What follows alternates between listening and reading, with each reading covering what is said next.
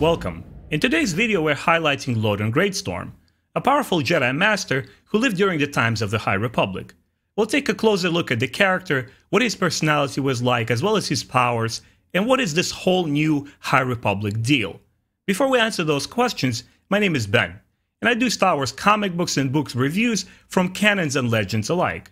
If you enjoy this sort of content, you enjoy Star Wars lore, cool trivia, or interested in a particular book, Feel free to subscribe, hit that bell button, and more cool content will be coming your way. First, let me help you situate yourself by answering the question What is the High Republic? It's a new publishing campaign which goes across adult and young adult novels as well as comic books. Um, Loden Greatstorm, the character we're talking about today, he shows up in the first adult novel that was ever released. So this is the book, Light of the Jedi. You could even see Loden here on the cover. That's him, the, the green Twi'lek. Okay? Just for the reference so you understand what's going on, this is the first book, but there's more on the way. There's a tie-in young adult novel, Into the Dark, which also just came out. And there's another children's book, A Test of Courage. Okay, now we're talking about specifically the Loden Greatstorm character. Loden comes from a species called Twi'lek, Star Wars fans may know them for their signature lekku which hang behind their shoulders. Within the Jedi Order, Greatstorm is considered one of the better Jedi Masters, because he always seeks to better himself as well as the students around him.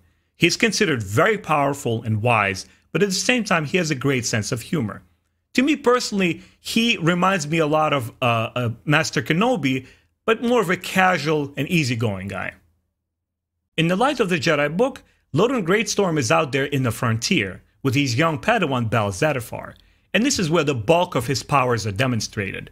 Uh, he wields a yellow lightsaber, and when they encounter the enemies, the Nihil, which are the big new threat in the High Republic, uh, Loden Greatstorm demonstrates some awesome powers. He can levitate a whole number of his opponents at ease and drop them from great distance, hurting them but not killing them in the process he deflects a lot of uh, uh, explosive with with many many small details sharp now and just brushes brushes them off like nothing.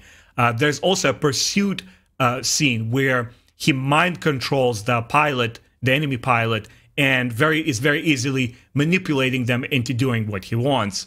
Um, they land on a Nihil ship, and he's able to blow past huge metal doors like it's nothing. So you could see that as far as his force abilities go, he's very, very powerful. In this section, I would like to talk a little bit about my impression of the character and where they will take him next. By the end of the book, Loden Greatstorm is taken hostage. I like that. I enjoy the characters and heroes who are vulnerable, who are not impossible to defeat, you know, like Superman, who brush off their opponent's attacks like it's nothing. The Jedi are powerful in the High Republic. They demonstrate some awesome powers, but they're also not invincible. The Nihil, their opponents, have great new skills and tactics to disable them.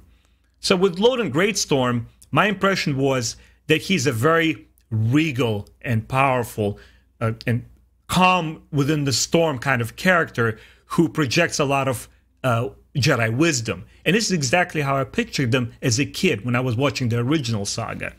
The prequels felt a little bit different, where the Jedi kind of went more into military roles and became the generals and were forced to fight the war that wasn't there by choice because they're peacekeepers. Um, this is what a Loden Greatstorm represents in this book. He's the peacekeeper, but when it's time to act, he thrusts himself and his student into the action. As I mentioned earlier, by the end of the book, he's taken hostage by the leader of the Nihil. Marchion Ro has some obsession with the Jedi, and the book hints at him digging into old and ancient lores and legends, and he wants something with the Jedi. And my hopes for the future of the series is to see the Sith arise or some other dark side users or cultists, something like maybe Night Sisters or Witches of Dathomir, uh, that come about and either assist the Nihil or confront the Jedi directly. And because it's supposed to be the height of the Republic, where it celebrates its peace and calm. There's no intergalactic war going on, and the Jedi are not military generals. They're just out there helping out all the planets and peoples in, in need. and all of a sudden, if the shadow, the veil of darkness covers the, the galaxy, I'll be interested to see how Loden Greatstorm and his peers will respond to that kind of threat. That's my video on Loden Greatstorm. I hope it got you curious about the High Republic.